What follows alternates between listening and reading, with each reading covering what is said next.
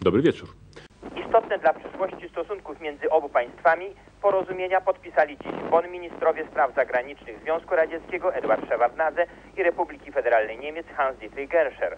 Pierwsze z nich ustanawia regularność wzajemnych kontaktów raz w ciągu roku, a w kryzysowych sytuacjach w natychmiastowym trybie.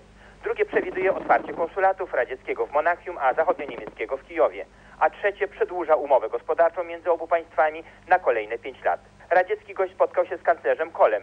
W blisko dwugodzinnej rozmowie obaj politycy wymienili poglądy na ważne tematy wzajemnych stosunków i problemów międzynarodowych. Waszyngton. Egipski przywódca Hosni Mubarak został przyjęty przez Ronalda Reagana. Temat rozmowy to sytuacja na Bliskim i Środkowym Wschodzie, a przede wszystkim napięcie na terytoriach okupowanych przez Izrael.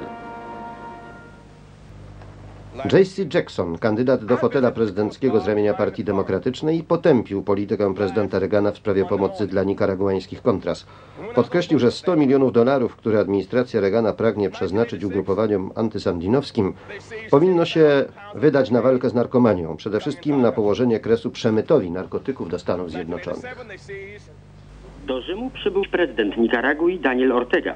Tematem jego rozmów z prezydentem Cosigą, premierem Goryją i ministrem Andreotkim jest sytuacja w Ameryce Środkowej, pełna napięć i konfliktów, przede wszystkim ze względu na politykę administracji waszyngtońskiej popierającej rebeliantów z Contras.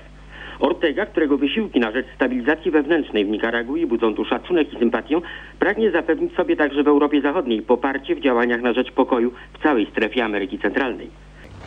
Tymczasem we wszystkich miastach zachodniego brzegu Jordanu i strefie gazy kolejne starcia między Palestyńczykami a wojskami okupacyjnymi. Żołnierze izraelscy siłą otwierali sklepy, których właściciele przystąpili do strajku powszechnego. W szpitalach jest już co najmniej 700 Palestyńczyków rannych w czasie starć. 129 przebywa w więzieniach. Tymczasem do obozów palestyńskich Sabra i Shatila, położonych na południowych przedmieściach Bejrutu, powraca życie. Szyicki Amal zaczął bowiem wycofywać się z pozycji wokół obleganych od trzech lat obozów na znak poparcia dla walki Palestyńczyków na terytoriach okupowanych przez Izrael. Jesteśmy zmęczeni trzyletnim oblężeniem, pragniemy żyć jak inni ludzie. Nie prosimy o wiele, tylko o pokój, mówią mieszkańcy obozu.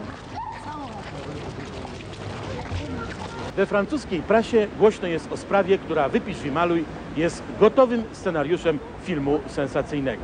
Pani Danielle Bourguibury, sekretarz generalny Najwyższej Rady Sądowniczej, organu mieszczącego się w Pałacu Elizejskim i podlegającego bezpośrednio prezydentowi Republiki, zapadła na zdrowie. W poszukiwaniu przyczyn zbadano herbatę, którą codziennie zwykła pijać w biurze. Sensacja była ogromna. W napoju wykryto działającą powoli truciznę.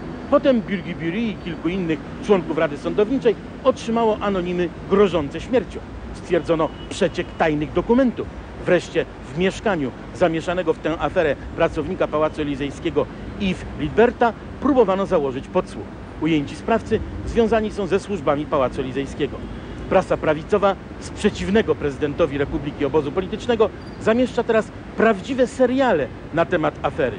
Pisze się o próbach tuszowania sprawy.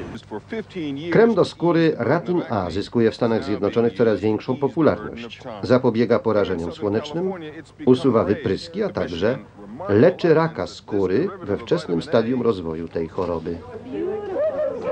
Kot Felix jest prawdziwym globtrotterem. Dwa miesiące temu, gdy podróżował ze swoim właścicielem samolotem z Frankfurtu do Los Angeles, uciekł z koszyka i 29 dni spędził na pokładzie samolotu linii Panam, pijąc prawdopodobnie jedynie wodę. Przeleciał w tym czasie 290 tysięcy kilometrów. Znaleziono go na londyńskim lotnisku. Po kilkutygodniowej kwarantannie wrócił już jako oficjalny pasażer pierwszej klasy do Kalifornii, gdzie czekali na niego stęsknieni właściciele. W tym wydaniu dziennika to już wszystko. Dziękuję Państwu. Do zobaczenia.